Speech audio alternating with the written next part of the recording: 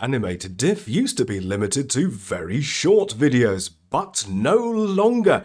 Now you can make AI generated videos of any length and even do morphing as well, all thanks to batch prompting.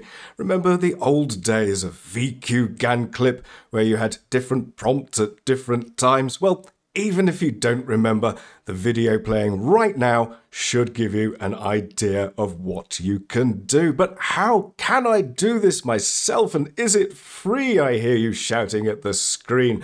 Well, dear nerd, let me fill you with the arcane knowledges required for the princely sum of nothing. If you're ready to begin, here we can see from this fork of the Animate Diff software, all we need is a. What? People don't like editing JSON files and they'd rather just use a web interface. Well, why don't we do that instead? Yes, hello and welcome to more nerdy rodent geekery where today I guide you in the most minute detail through this single workflow so that you too can make wonderful animations like the one you see on the screen now. Using the power of Stable Diffusion and Comfy UI, you'll easily be able to create trending masterpieces to woo your friends and thus become irresistible for this, you're going to need Comfy UI up and running already. So if you've not done that as yet and you need help with it, then do be sure to watch my beginner's guide video. In it, you'll find loads of really useful entry level information, and that should be your first stop before diving into this video if you've never used Comfy UI before. That way, you'll have a great starting point with knowledge about simple Comfy UI workflows, where models go, and a variety of other basic hints and tips. You will need a somewhat recent graphics card. I'm afraid if you've got something like an NVIDIA 1060 from 2016, then AI animation may be a bit beyond the power of your card. Right, let's get on to the setup. Now, links for all of these things can be found down in the video description, but your primary site, the place you really want to go, where everything is all gathered in one place, is the very comfy nerd website. Here you can see a table at the top has various resources and also just down below you've got all the workflows. If you start by dragging and dropping a workflow image from the very comfy nerd website into your comfy UI interface, then you'll either be good to go already or you will see some red nodes. A red node means a custom node will need to be installed. As you've watched all of my previous videos, you will of course have Comfy UI Manager installed already. And if that's the case, you can just click on Manager and then click Install Missing Custom Nodes. You'll also want to update all, then close that and stop and restart Comfy UI. It may take a moment to complete, but once it's done, you'll have all the new nodes ready to go. Just in case you forgot to watch my other Comfy UI videos in which I go into how cool the manager is, the link for it is also on the Very Comfy Nerd webpage. Okay, so now you've got the prompt travel with IP adapter workflow loaded, you've installed any missing custom nodes, you've updated everything and you've restarted, meaning if you now go down to the little menu and press the refresh button, there it is, refresh, then that will update all of the options in the available loaders to match the models on your own computer. For example, if we have a look at these checkpoints, there you can see a list and the list on your own computer will likely be very different to the one on mine. Being an avid watcher of the Nerdy Rodent YouTube channel, you will of course already know the default locations for these various models is Comfy UI stroke models and that there are loads of subdirectories in there with the names to match each of the model types. For example, here you can see one called checkpoints, and that's where the checkpoints go. There's also one for clip vision, control net, VAE, and so on. Some custom nodes, however, have their own models directory. If we have a look at the custom nodes and take a look at the IP adapter one, you can see there it also has its own custom models directory. Now, this may seem confusing at first, but don't worry, as I will specify exactly when it isn't the standard default location that everything usually goes in normally. Right, let's go through all the models that you're going to need for this, as the chances are you may be missing a couple. Okay, so there's quite a few models for this one. Each of them should be specified in these purple loaders here in the loaders section. And the first one you'll need is a Stable Diffusion 1.5 checkpoint along with a VAE. If your model has a VAE baked in, then don't worry, I've got a little router node up the top there. So you could just connect that into the root and that will use the built-in VAE or of course like it is by default you can have a separate one there. Next is the Animate Diff and Animate Diff LoRa loader. Now, this is one of those custom nodes which does have its own models directory. You'll need at least one Animate Diff motion model as well as this model checkpoint here. Now, if you're going to be using the motion LoRa's, you do need a version 2 checkpoint.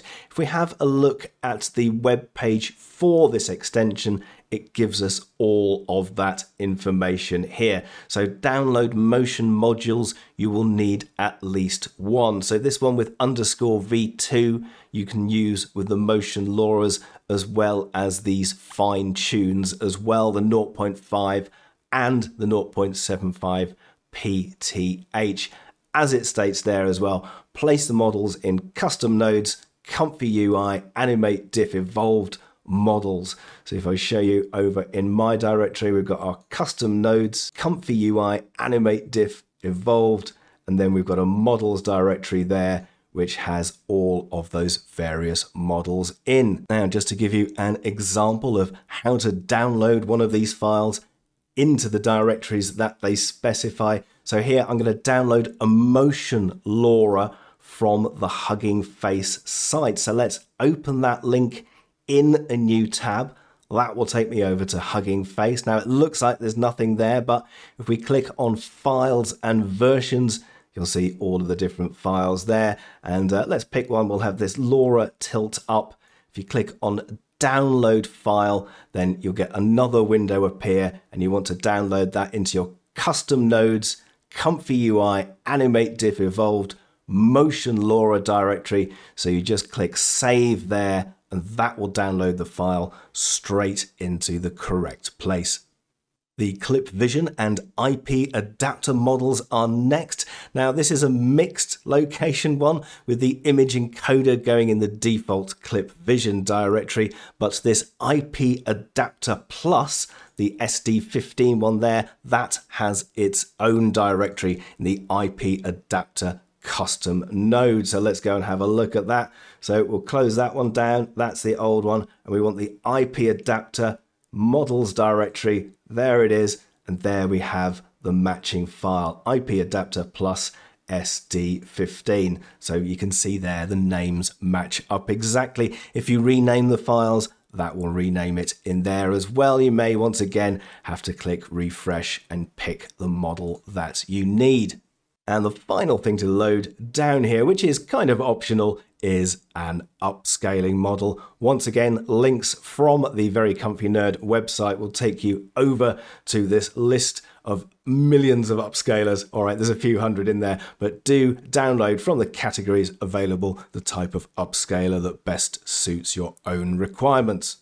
Okay, with the setup complete, you're ready to start making animations. Most of the previous things you'll hardly ever change once you have set them, perhaps with the exception of those motion LoRa's, as you may want to change the directions. You can chain them as well, so if you just go over here, if you want a different motion LoRa, as well as the one you've got there. You can just drag over there, ADE, animate diff, load LoRa, and there you go. You're using pan down and zoom in, but I'll just delete that one for now. So you can have multiple motion LoRa's there as well, which is very handy. When making a new animation, the things you want to pay close attention to each time are the weights section down here, the load images directory, those are the images for your IP adapter. You've also got the resolution and frames and of course the prompting section above. If we start with having a look at the weights section, this section controls the balance between your IP adapter and your prompts. For more information on IP adapter, just take a look at my previous video about the instant LoRa's. But essentially, IP adapter controls the generation without the use of having to have prompts. Let's have a look at what's going on here. If you have a strong IP adapter combined with low prompt weights, then you'll get a video like this where your prompts barely impact the video at all. At around 0.5 strength on each, you'll get a rather interesting blend. My personal favorite is to blend them as you get really weird stuff going on. And finally, with the IP adapter strength down at zero, you'll only get what you prompt, which is basically having the weirdness setting on maximum. Talking about prompting, you'll see this isn't quite like your usual prompt text as it's using a batch prompt schedule. Each of the prompts given there come into effect based on the frame number given just before it. So there you can see zero, I've got a rodent eating pasta. 24, it goes to seeds, then beans, ice cream, and finally ending up with some cheese. There are a couple of extra boxes here. You can prepend and append text as well if you like. And underneath, you've got the negative prompt box. Now, do remember to follow this prompt format exactly. So you've got a comma at the end of each of those, but not on the last one. If you do get it wrong, so let's put a comma in there and try and queue this prompt up, then it will tell you that you've done it wrong. Error occurred when executing batch prompt. So there it is, executing property, naming closing double quotes. Yet no, you've, you've put a comma on the last line. So remember to follow that format exactly to avoid such an error. Okay, it may seem like you're taking in a lot at first, but we have nearly finished. The final section down here is the upscaling group. Now, if you don't want to do upscaling at all, you can just right click on that group and set group nodes to never that will grey them out and then you don't load the upscaler and you don't do the upscaling perhaps handy for slightly lower VRAM cards but it does give you a larger resolution video at the end of it. And there you have it videos of any length with consistent characters objects styles and such via the IP adapter which can also morph and change along the way as you like all for free from the very nerdy rodent webpage. I hope you enjoyed the video and to see you on the next one.